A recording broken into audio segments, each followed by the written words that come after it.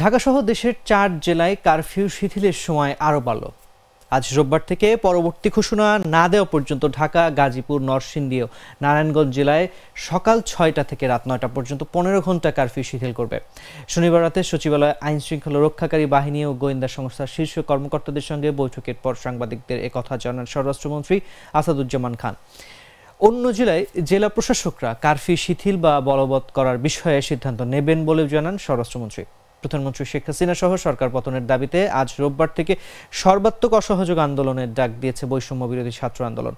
এ প্রেক্ষাপটে সন্ধ্যা সাড়ে সাতটার দিকে বৈঠকে বসেন স্বরাষ্ট্রমন্ত্রী। রাত সোয়া দশটার দিকে শেষ হয় বৈঠক।